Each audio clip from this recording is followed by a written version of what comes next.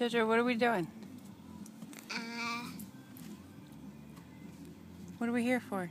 a surprise. Do you know what the surprise is? No. You don't know what the surprise is? No. A pet doggy. Doggy! right now, in a doggy. Hold on. Okay, in a doggy.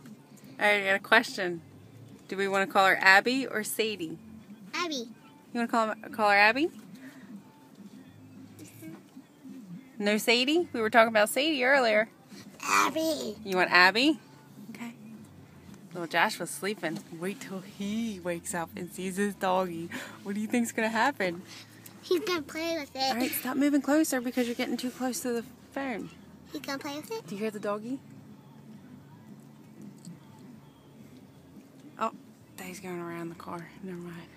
I love you. I love you. Right, Hope you have on. a good year.